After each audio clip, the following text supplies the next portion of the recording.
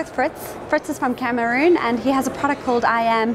Fritz, can you tell us a little bit more about your product?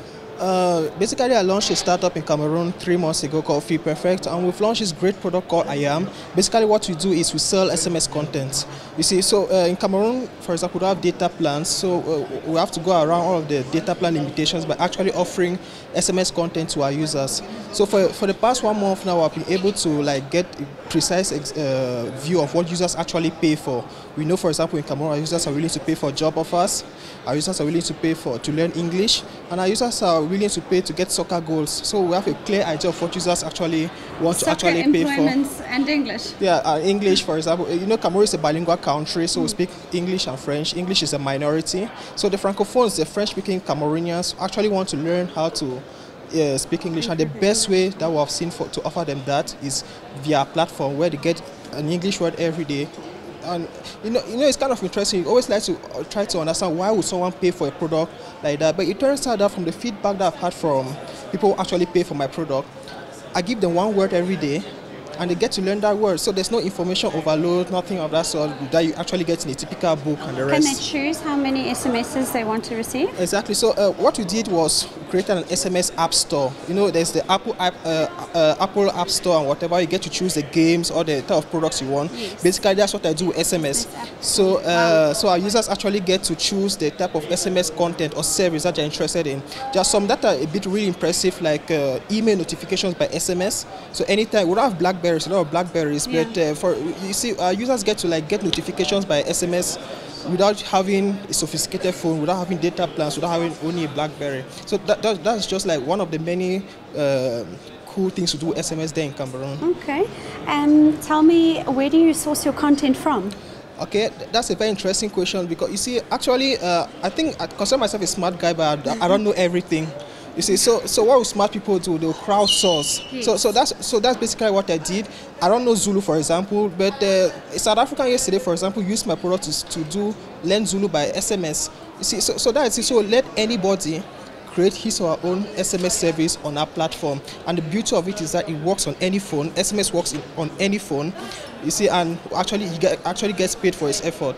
Yeah. So it's very easy. Everything is wizard based. Everything is as easy as you don't need to be a tech guy in order to create your own SMS service on our platform. Like you might need to be a tech person to actually create an iPhone application and stuff like that. So it's such a simple delivery. So, simple delivery, yes. Yeah. So something can be as simple as uh, content every morning, Bible verses every morning, Quran messages every morning. It depends. Uh, or but going even beyond Bible verses, you can go to like sermons by a particular pastor. So it all depends on the creativity of the end user. You see, I, there's one person who, for example, decided to create African proverbs.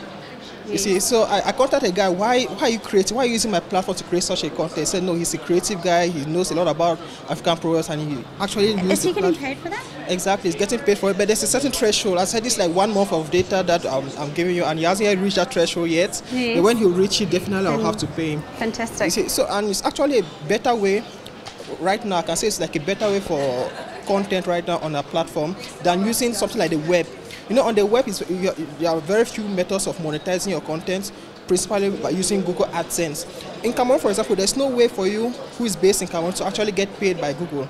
Yes. And so, so instead of creating your content by SMS, there's a way, which is me, to actually pay you for being so creative with all the SMS content and offering it, it really does um, foster a culture of initiative. Like if you've got an idea and you want to provide us with content, then go for it. And, and you're it. serving a need. Well, uh, the SMS App Store is one part. That's what's actually generating revenue right now. But the most controversial feature of launch is also a mobile phone directory.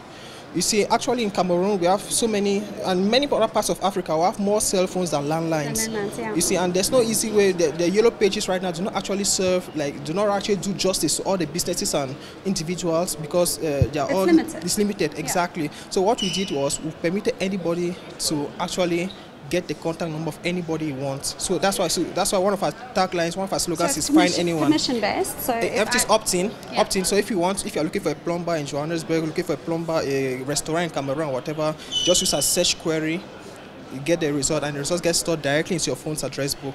Yeah. So those are like that's why I would say we specialize in selling SMS content.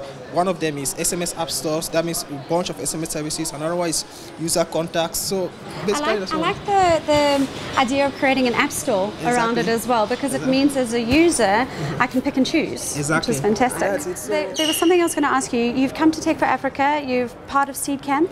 Um, what has been your experience of Seed Camp and the actual conference? Okay. Um, actually, I was invited first as a speaker. as a speaker before. On uh, yeah, on yes. a panel before winning, uh, before being a finalist for Seed Camp.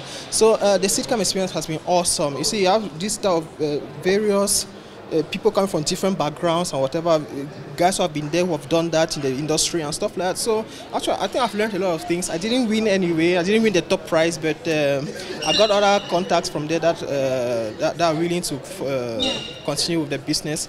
Um, as for the panel discussion, I think it was very interesting. You see, our panel was like the most diverse. There was someone from Ghana, someone yeah. from representing UK and Kenya, someone representing Cameroon, me, and other people representing South Africa. So like got the, like a whole like a whole Pan African perspective on what's happening with mobile content right now.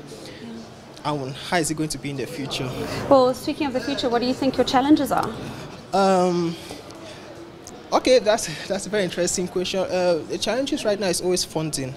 You see, uh, um, I'm actually very lucky that I got funding before from uh, a very an incubator in Cameroon called Limbe Labs.